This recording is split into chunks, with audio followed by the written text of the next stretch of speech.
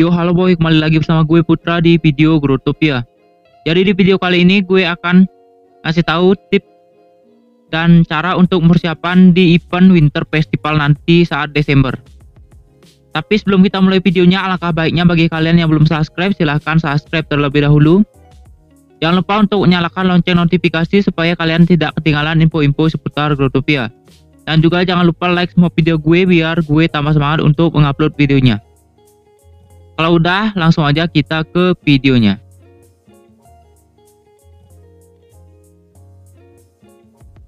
Tapi sebelum kita bahas tentang tips dan cara untuk persiapan Winter Festival, gue akan kasih tahu Winter Festival adalah suatu event yang paling ditunggu oleh player Growtopia selain Valentine dan juga Halloween. Nanti saat uh, Winter Festival akan ada beberapa cara untuk kalian profit seperti memancing dan juga parkour di World through WCH. Oke, hal pertama yang harus kalian persiapkan untuk menghadapi Winter Festival adalah pertama kalian harus uh, mempersiapkan jam sebanyak-banyaknya. Karena nanti di store akan tersedia sebuah kalender. Dan harganya tersendiri yaitu kisaran 65k jam kalau sama seperti tahun lalu. Dan juga ada seperti provider di store. Gue lupa namanya apa.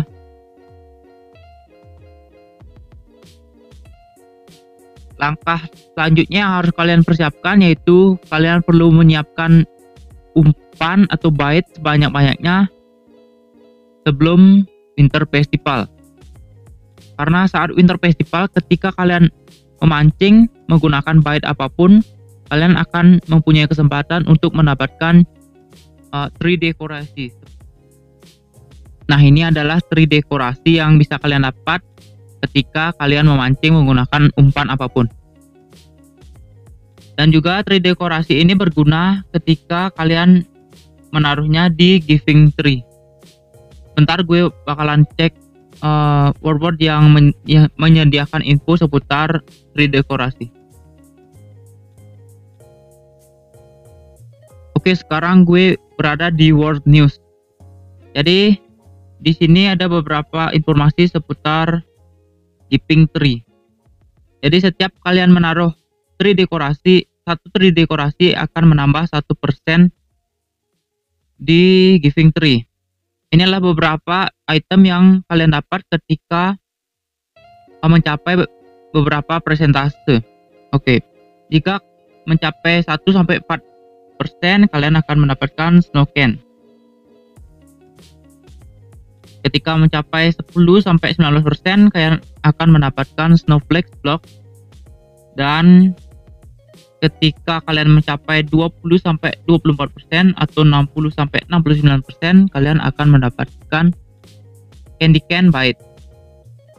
Dan ketika mencapai 30 sampai 34% kalian akan mendapatkan hot coklatos. Dan setelah mencapai 40 sampai 49% kalian akan mendapatkan winter wine. Dan setelah mencapai 50 sampai 51 eh 59% kalian akan memperoleh elf token. Dan untuk 70 sampai 79% kalian akan mendapatkan winter robe.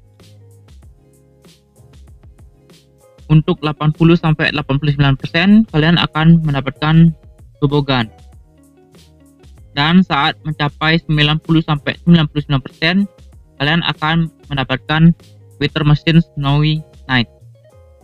Dan untuk 100% kalian akan mendapatkan Mouse Cup.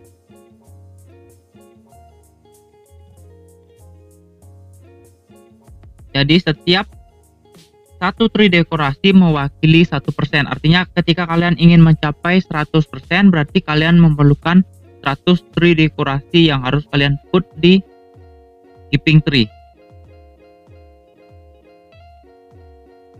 Dan juga ini ada beberapa info-info tentang Winter Festival uh, untuk tahun-tahun sebelumnya. ini ada dari 2013 2013 dan juga berapa cara membuat uh, in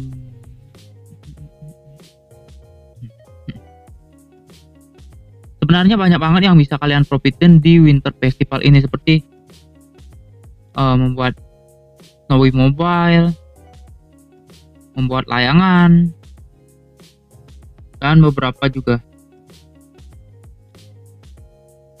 Seperti kalian bisa menginvest uh, code Koklatos saat Winter Festival karena harganya nanti mungkin kisaran 2,5 sampai eh dari 2 sampai 2,5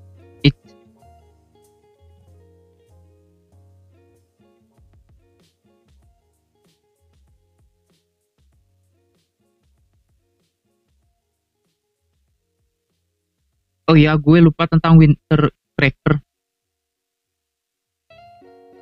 Alasan kalian harus mempunyai gems yang banyak yaitu kalian harus membeli winter cracker nantinya karena pas awal-awal pasti banyak banget player Grutopia yang ingin menggacau winter cracker karena saat mengacau winter cracker kalian akan mendapat kesempatan untuk mendapatkan beberapa item seperti dan juga kalian akan mendapatkan deluxe winter cracker. Kalau kalian beruntung. Dan dari Deluxe Winter Cracker kalian akan mendapatkan beberapa item rare seperti uh, Winter Frostbow dan beberapa item rare juga seperti ini ini ini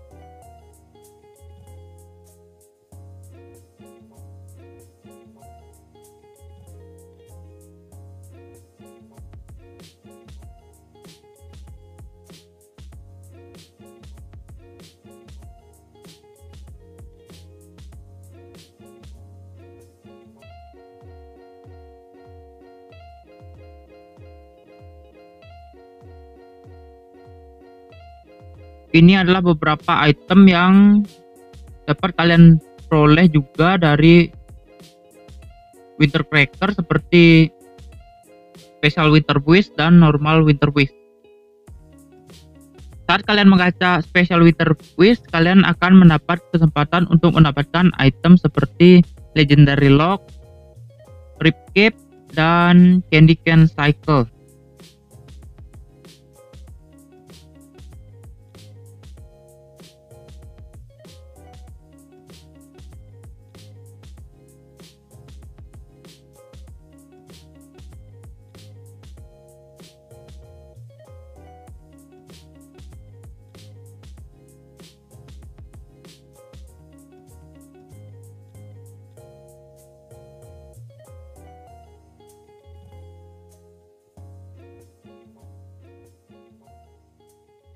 Oke boy, mungkin itu dulu untuk video kali ini. Jangan lupa like, komen, dan subscribe. Sampai jumpa di video selanjutnya.